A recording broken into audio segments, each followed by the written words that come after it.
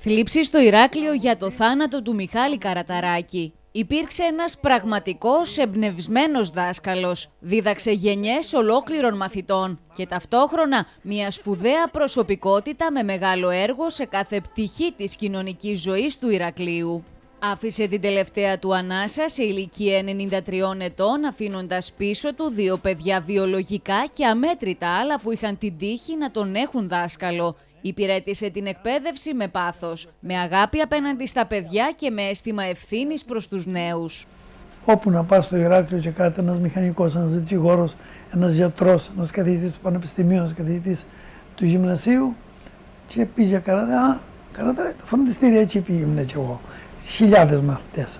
Προσπαθούσα πάντα να δώσω στα παιδιά ότι καλύτερο είχα μέσα μου έχει ο ίδιος περιγράψει. Ένιωθα χρέος προς τους νέους να δώσω τη σωστή γνώση, να διδάξω το σωστό τρόπο σκέψης και να τους κάνω κοινωνούς της φιλοσοφίας μου.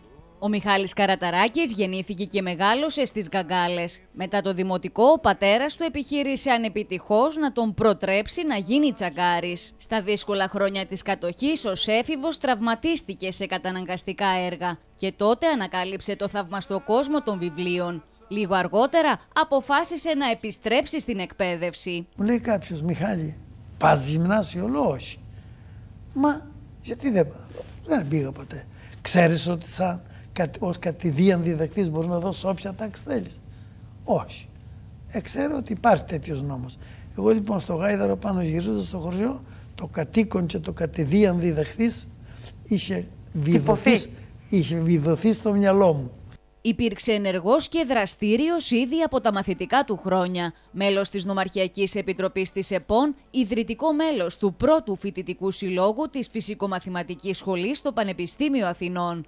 Η ενασχόλησή του με τα κοινά συνεχίστηκε με αμύωτο ρυθμό. Διετέλεσε πρόεδρος του Συλλόγου Φίλων του Πανεπιστημίου Κρήτης, ενώ συμμετείχε ακόμη στην Ένωση Προστασίας Καταναλωτών Ηρακλείου, στην Κίνηση Πρωτοβουλίας Πολιτών, στην Ηράκλεια Πρωτοβουλία και στο Σύλλογο Φίλων του ΕΝΗΣΑ. Σε ανακοίνωσή της, η Πριτανία Πανεπιστημίου Κρήτη σημειώνει χαρακτηριστικά με το παράδειγμά του, την ανιδιοτέλειά του και την προφανή διάθεση εθελοντικού έργου που τον διέκρινε μέχρι και τα τελευταία στάδια της ζωής του, ενέπνευσε τους συμπολίτες του να εκφράσουν έμπρακτα τη στήριξή τους στο Ίδρυμα στα δύσκολα πρώτα χρόνια της εν συνεχεία λαμπρής του πορείας και διατήρησε άσβεστη την άμεση και ενεργό στήριξή του σε όλα τα μετέπειτα παραγωγικά χρόνια.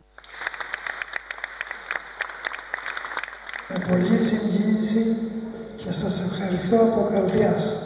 Η κηδεία του Μιχάλη Καραταράκη θα γίνει αύριο Τετάρτη στις 12 το μεσημέρι από το ναό του Αγίου Τίτου στο Ηράκλειο.